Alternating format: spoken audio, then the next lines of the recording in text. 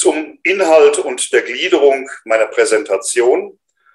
Ich möchte zunächst einmal eine kurze Vorstellung von Darch Scientific als privates Forschungsinstitut geben, damit Sie einfach einen Überblick bekommen.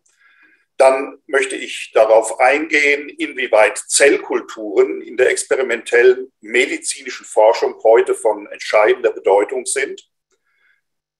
Weiterhin möchte ich beleuchten den Hintergrund für die durchgeführten Untersuchungen mit der Alpha- und Beta-Essenz sowie grundsätzliche Überlegungen, was die Dosierung anbelangt.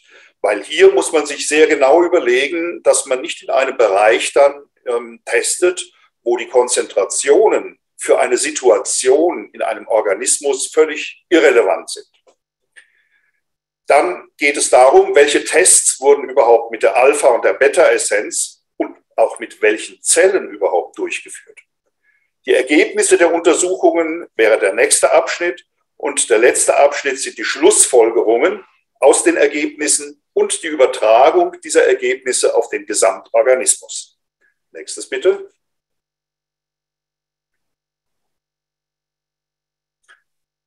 Ja, wer ist Darch Scientific? Zunächst einmal zu meiner Person. Ich bin von Haus aus Diplom-Biochemiker, habe mich aber schon direkt nach dem Studium in die medizinische Fakultät begeben, der Universität Tübingen, und ähm, habe dort für das Fach Humanphysiologie habilitiert. Ich bin im Jahr 2002, also vor 20 Jahren, ähm, ausgeschieden aus dem universitären aktiven Dienst und bin seitdem Geschäftsführender und wissenschaftlicher Direktor des privaten Forschungsinstituts Darch Scientific Institut für zellbiologische Testsysteme. In der Zwischenzeit habe ich das Ruhestandsalter erreicht, aber ähm, für den Ruhestand nicht wirklich Zeit, da einfach so viele Projekte, so viele interessante Sachen in der Forschung im Institut anstehen, dass ich einfach gar nicht aufhören kann. Wir führen im Institut eine interdisziplinäre präklinische Forschung in den Bereichen Medizin, Chemie, Biologie, Physiologie und Biochemie seit mehr als 22 Jahren erfolgreich durch. Grundsätzlich machen wir keine tierexperimentellen Untersuchungen, sondern arbeiten ausschließlich mit organspezifischen Zellkulturen. Das heißt in vitro im Reagenzglas. Wir entwickeln und verwenden international akzeptierte Testverfahren auf zellulärer Ebene, welche eine Vorhersage auf die Situation respektive die Wirkung in einem Gesamtorganismus erlauben, also auf die In-vivo-Situation. Nächstes bitte. Auf dieser Folie sieht man einen kleinen Überblick über die Forschungsfelder von Darch Scientific so wie sie sich in den letzten zwei Jahrzehnten dargestellt haben. Ich will gar nicht auf alle Projekte ähm, im Detail eingehen, sondern Sie sehen, das Spektrum ist riesengroß geworden. Angefangen haben wir mit toxikologischen Untersuchungen, äh, Medizinprodukte und Kosmetika. Inzwischen dazugekommen sind Untersuchungen zu informierten Wässern, elektromagnetische Felder und deren Auswirkungen auf der zellulären Ebene. Nächstes bitte.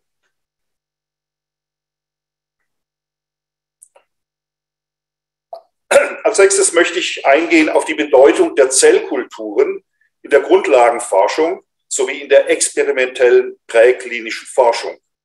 Weil es wird immer wieder gesagt, ja, es sind Untersuchungen gemacht worden an Zellkulturen. Inwieweit trifft denn so etwas für den Gesamtorganismus zu? Ist das überhaupt statthaft? Ist das überhaupt möglich? Und das möchte ich noch im Vorfeld ein bisschen näher beleuchten. Grundsätzlich beschäftigt sich die Zellkultur mit der Kultivierung von menschlichen, tierischen oder pflanzlichen Zellen in einem künstlichen Nährmedium außerhalb eines Gesamtorganismus, also in vitro. Dabei können ganz unterschiedliche Zelltypen aus den verschiedenen Organen oder Geweben isoliert und kultiviert werden. Denken Sie beispielsweise, dass es möglich ist, mit Leberzellen, Nierenzellen, Hautzellen, Herzmuskelzellen, Skelettmuskelzellen und vielen anderen mehr zu arbeiten. Die Zellkultur ist in der wissenschaftlichen Community in den Bereichen Medizin, Biologie, Pharmakologie, Toxikologie, Biologie, Biochemie, Physiologie und in vielen anderen als Ersatz für Tierversuche absolut anerkannt. Zellkulturuntersuchungen, und das ist der große Vorteil, können in ihrem experimentellen Design an verschiedene Testsubstanzen oder Gegebenheiten angepasst werden. Vorhersagen zu Wirkungen in einem Gesamtorganismus sind möglich. Und das ist schon mal ein ganz, ganz wichtiger Punkt. Nächstes bitte. Die Grundausstattung eines Zellkulturlabors. Wie kann man sich so etwas vorstellen? Manchmal sieht man so etwas in äh, Fernsehaufzeichnungen, aber im Grunde genommen lässt, lässt sich die Grundausstattung auf einige wenige ganz entscheidende Geräte reduzieren. Wir sehen in der oberen Reihe verschiedene Arten von Schalen in unterschiedlichen Größen. Wir sehen in der Mitte Kulturflaschen. Und das, was da so rötlich sich darin befindet, das ist das Kulturmedium, also eine Nährlösung, in der die Zellen kultiviert werden können.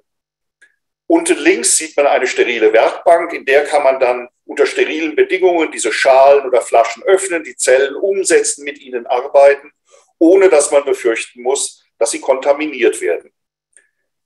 Unten rechts den Brutschrank, das heißt, wir haben hier eine ganz spezifische Umwelt, in der diese Zellen kultiviert werden. Sie sehen auch hier, da sind ein paar Schalen, ein paar Flaschen drin.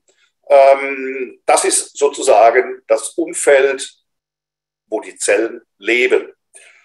Und auf der rechten Seite ebenfalls ein ganz wichtiges Teil, ein sogenanntes Inversmikroskop. Das unterscheidet sich von einem normalen Mikroskop dadurch, dass es ganz anders angeordnet ist, sodass man auf dem Träger eine höhere Zellkulturschale beobachten kann, ohne dass man mit einem Objektiv kollidiert, was normalerweise von oben kommt, bei einem Inversmikroskop von unten. Nächstes bitte.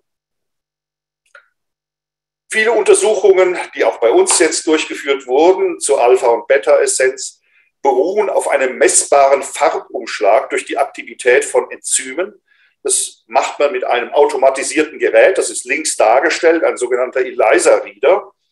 Und was ich unten rechts dargestellt habe, ist dieser Farbumschlag.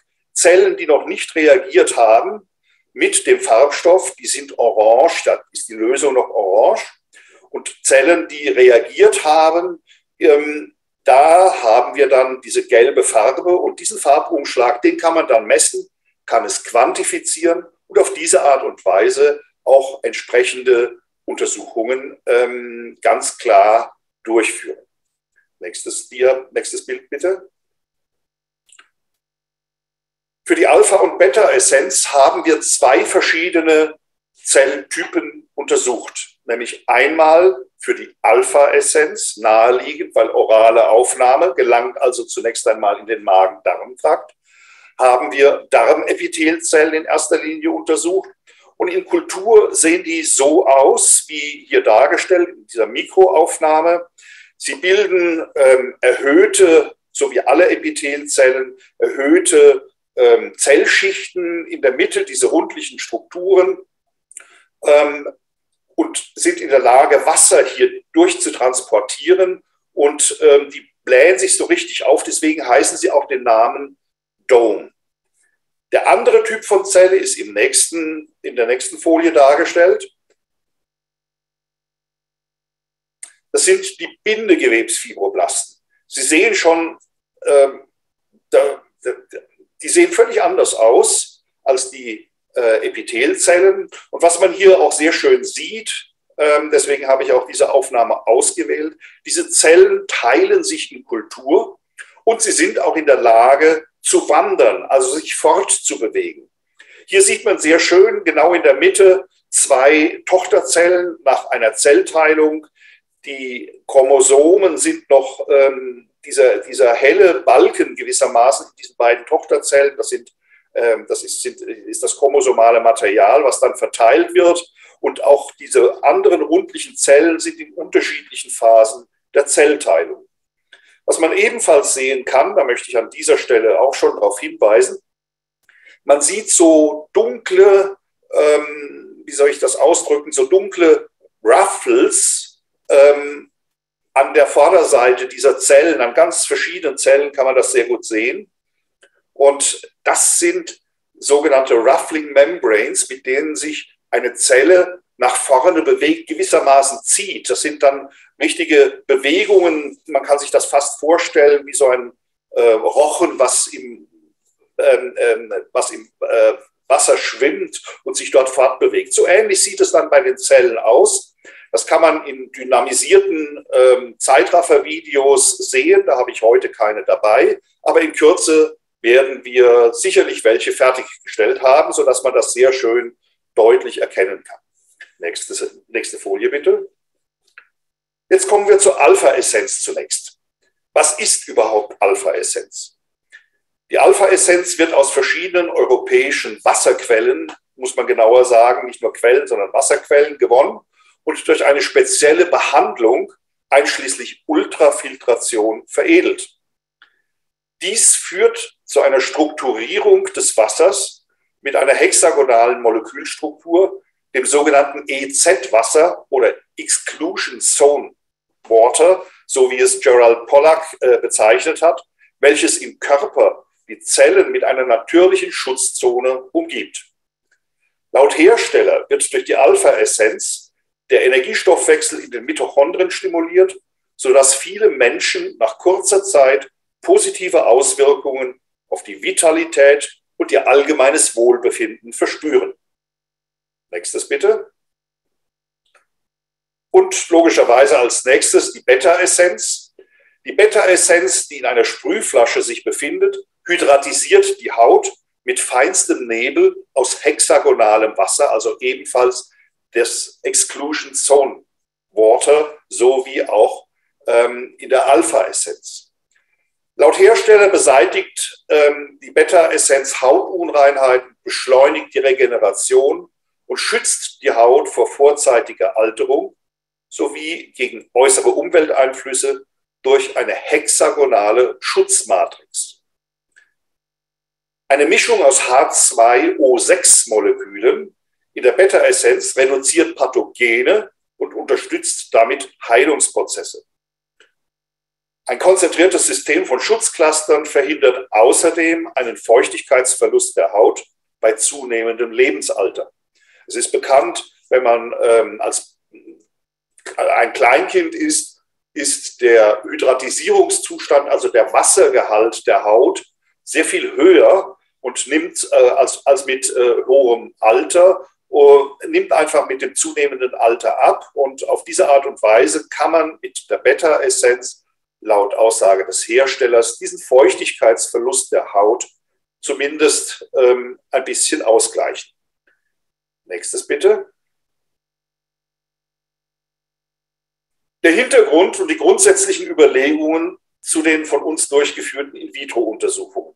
Wir haben sowohl Alpha-Essenz als auch die Beta-Essenz bekommen. Und dann war die Frage, hm, welche Untersuchungen führen wir überhaupt durch?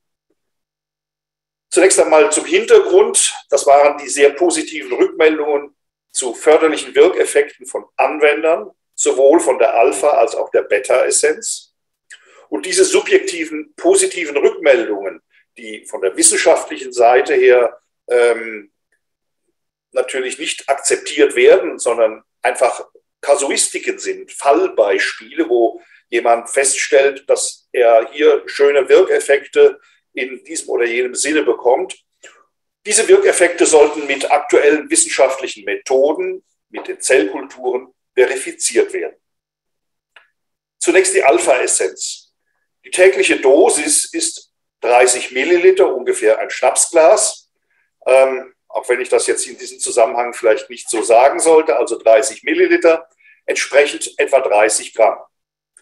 Bei angenommener theoretischer hundertprozentiger Bioverfügbarkeit und einer Verteilung in der Körperflüssigkeit von ungefähr 50 bis 70 Liter resultiert eine Konzentration der Alpha-Essenz im Organismus von ungefähr 0,5 bis 1,5 Milligramm pro Milliliter. Das ist ein wichtiger Wert, äh, weil der nachher in den Grafiken, die die Ergebnisse darstellen, immer wieder auftaucht Das ist also sozusagen die Kalkulation des Wertes ähm, unter Idealbedingungen im Organismus. Bei einer Verteilung in der Darmflüssigkeit ist die Konzentration ungefähr zehnmal höher, weil wir einfach äh, viel weniger Darmflüssigkeit als Körperflüssigkeit haben. Die Beta-Essenz wird nicht oral appliziert, sondern sie wird auf die Haut gesprüht. Hier ist natürlich eine Abschätzung sehr, sehr schwierig. Der eine macht mehrere Sprühstöße, der andere macht nur einen, sodass ähm, wir von einem mittleren Wert von ungefähr ein bis zwei Milligramm pro Milliliter ausgehen. Das heißt, beide unterscheiden sich in ihrer Konzentration für unsere In-vitro-Tests nicht sehr stark, sodass man sich im Bereich zwischen 0,5 und 2 Milligramm ganz einfach mal merken sollte, damit man nachher die Grafiken ähm, gut verstehen kann. Nächstes bitte.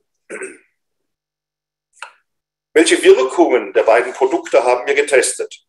Wir haben selbstverständlich zuerst nach der Zellvitalität, nach 24-stündiger kontinuierlicher Einwirkung geschaut. Wir haben uns den Zell- bzw. Energiestoffwechsel ebenfalls nach 24-stündiger Einwirkung angeschaut.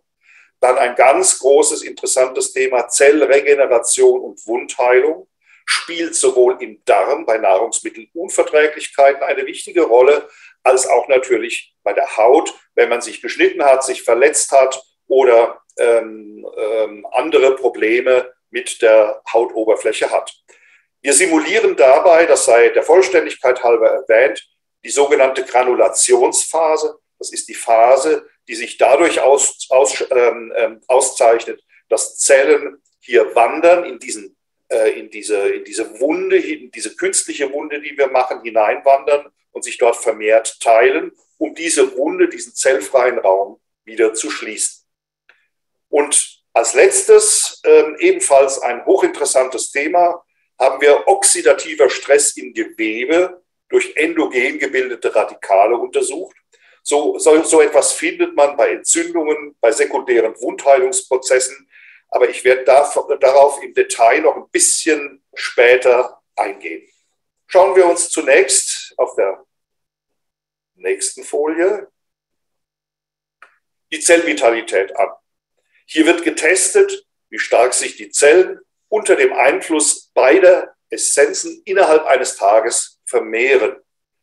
Dies ist somit unter anderem ein Marker für das Wohlfühlen der Zellen.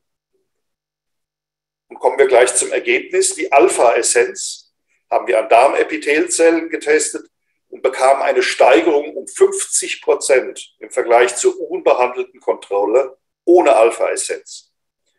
Dies lässt eine erheblich verbesserte Integrität der Darmwandbarriere erwarten und auch möglicherweise eine schnellere regenerative Prozesse bei Schädigungen des, der Darmwand, des Darmwandepithels. Bei der Beta-Essenz bekamen wir bei Bindegewebsfibroblasten eine Steigerung im Vergleich zur unbehandelten Kontrolle um mehr als 15 Prozent. Nächstes bitte.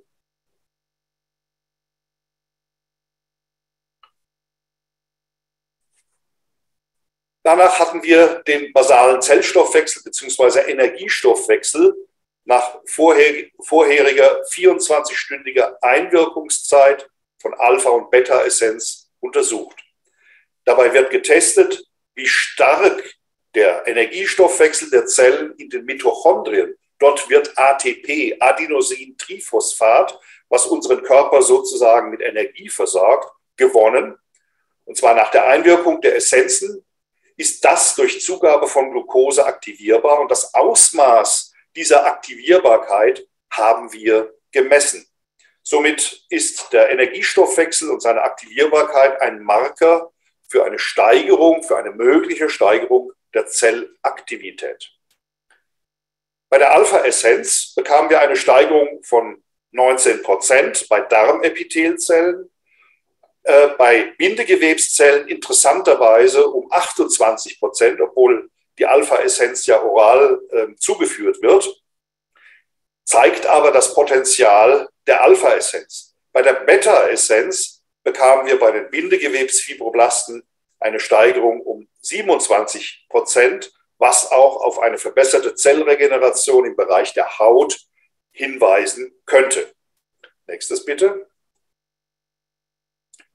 Ich möchte Ihnen nicht nur ähm, etwas erzählen, sondern ich möchte Ihnen auch mal so eine grafische Darstellung zeigen, wie das entsprechend aussieht. Hier für die Alpha-Essenz der Zell- und Energiestoffwechsel.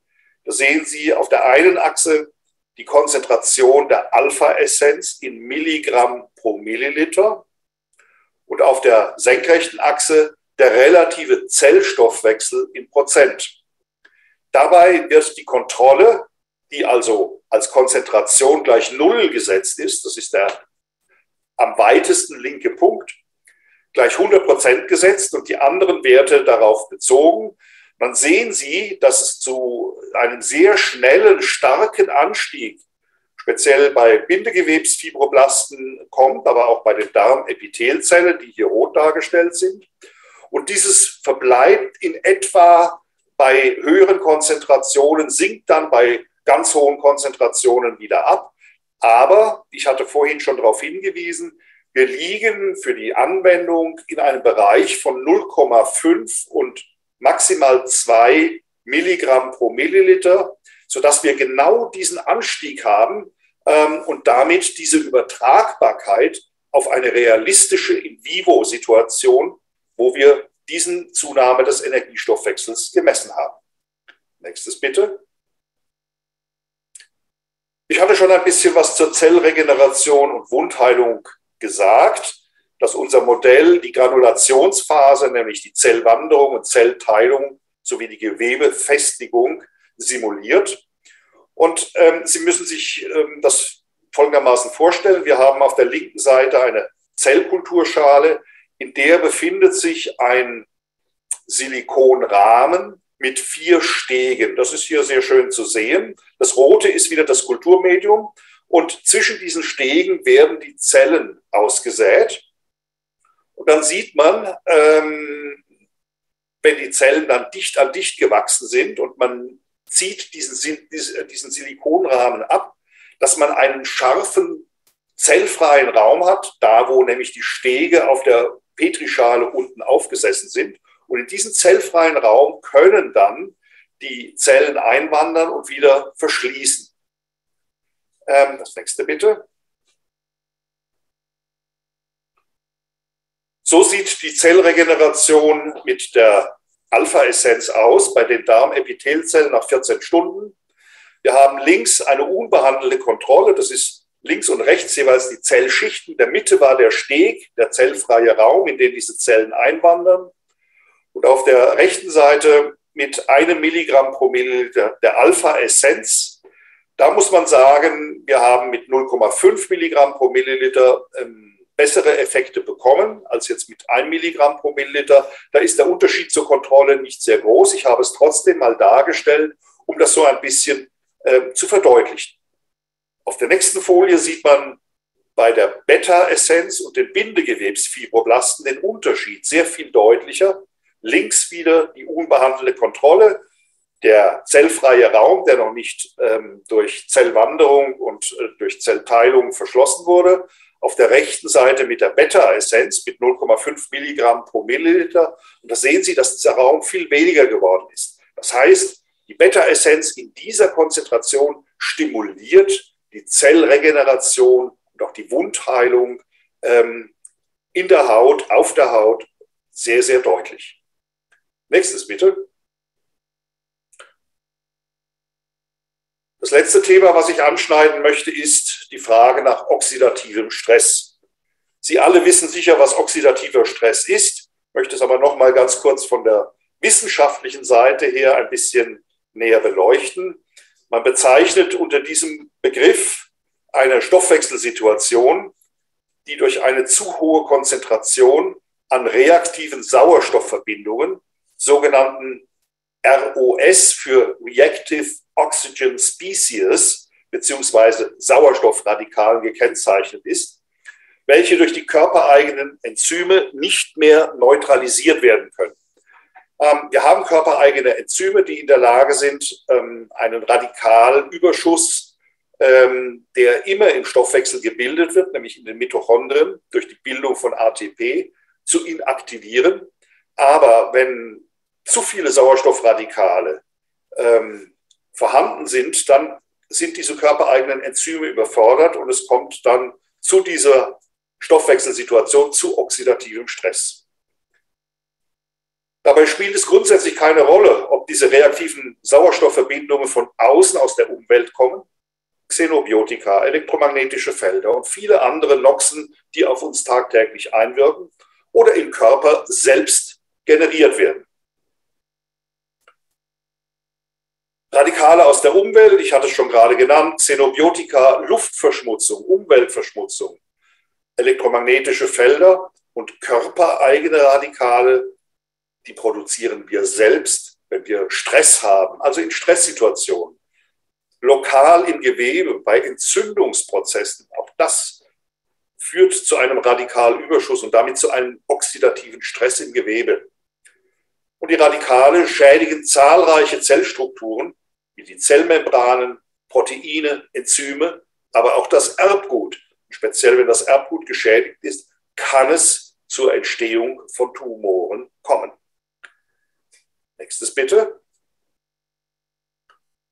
Ich habe hier mal dargestellt, wie so oxidativer Stress bei Zellen aussieht. Da sieht man oben links A, das ist eine normale Zellkultur, das sind Bindegewebsfibroblasten, so wie wir sie auch vorhin gesehen haben und die und werden jetzt oxidativem Stress künstlich ausgesetzt. Und dann sehen Sie B, nach kurzer Zeit fangen diese Zellen an, sich abzurunden, abzukugeln. Ähm, in C ist es schon weiter fortgeschritten. Dann lösen die sich sogar von der Unterlage ab. Äh, man sieht mit Pfeilen dargestellt sogenannte Apoptosen, also programmierter Zelltod, in den die Zellen dadurch getrieben werden. Und bei D, die komplette Zellzerstörung, da lebt keine einzige Zelle mehr, das ist einfach nur noch Zelltrümmer, sogenannter Debris, Zellschrott.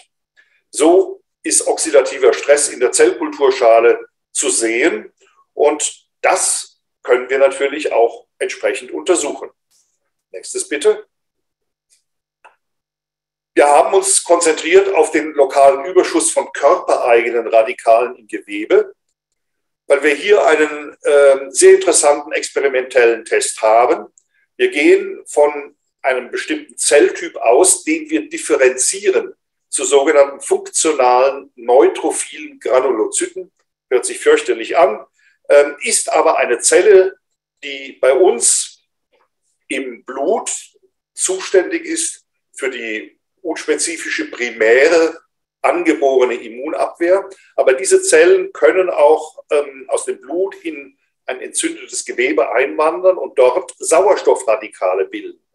Diese Zellen, die auch Fresszellen genannt werden, sind in der Lage, Sauerstoffradikale zu bilden, was einmal im Blut wichtig ist zum Abtöten von eingedrungenen Fremdkeimen, im, ähm, im Gewebe aber kontraproduktiv ist, weil es das Gewebe auch zerstören kann und so einen Entzündungsprozess chronifizieren kann. Das heißt, der Entzündungsprozess wird dann über einen längeren Zeitraum einfach angetriggert und besteht fort. Nächstes bitte. Wie gesagt, das können wir im experimentellen Modell sehr gut simulieren und hier sehen wir auch schon das Ergebnis zur Hemmung der endogenen Radikalbildung im Gewebe durch entzündungsvermittelnde Zellen. Da sehen wir einmal in Rot das Ergebnis für die Alpha-Essenz und ähm, in Grün das Ergebnis für die Beta-Essenz.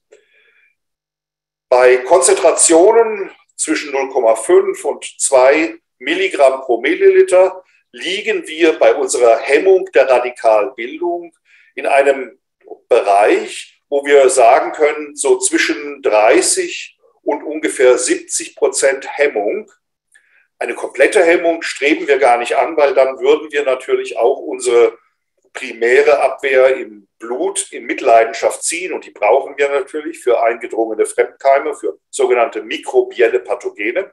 Das heißt, wir liegen hier in einem sehr schönen, äh, interessanten Bereich, der für, ähm, äh, der für Entzündungs Prozesse und deren Chronifizierung von ganz entscheidender Bedeutung hier ist. Nächstes bitte.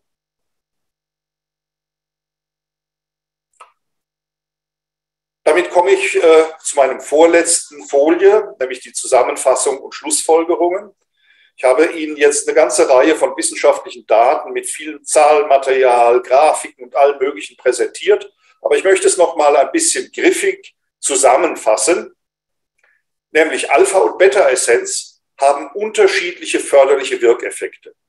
Die Alpha-Essenz förderliche Wirkung zum Erhalt der Integrität der Darmwandbarriere. Das steht hier im Vordergrund. Bei der Beta-Essenz die Regeneration und Vitalität der Haut. Beiden gemeinsam ist jedoch die signifikante Wirkung gegen lokalen oxidativen Stress im Gewebe durch die endogen gebildeten Radikale im Überschuss. Die Ergebnisse zeigen das Potenzial beider Produkte sehr eindrücklich und bestätigen die Beobachtung von Anwendern. Und mit den Ergebnissen, die ich jetzt hier vorgestellt habe, dürfen wir die ähm, positiven Wirkungen, die wir in der Zellkultur gewonnen haben, erhalten haben, durchaus mit, äh, mit, mit gewissen Einschränkungen ähm, auf die In-vivo-Situation übertragen ähm, wir dürfen sie nicht eins zu eins übertragen, aber wir erkennen, dass Alpha-Essenz und die Beta-Essenz das entsprechende hochinteressante ähm, förderliche Potenzial haben, auch in vivo das alles zu, äh, durchzuführen. Damit komme ich zu meiner letzten Folie, bei der ich mich ganz herzlich für Ihre Aufmerksamkeit bedanke.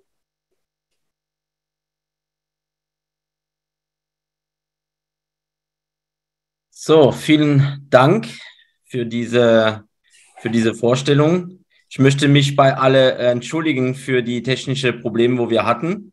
Ähm, also der Künstler oder die Künstlerin, wo da äh, es hingekriegt hat, äh, während der Präsentation auf den Schirm zu malen, äh, da möchte ich mich auch bedanken. Hat Spaß gemacht wahrscheinlich. Ähm, gehört dazu. Das ist die Pre-Launch-Phase, wie ich immer sage. Da passen noch diese Fehler an. Habe ich gerade mit Helena Laura besprochen, machen wir besser fürs nächste Mal.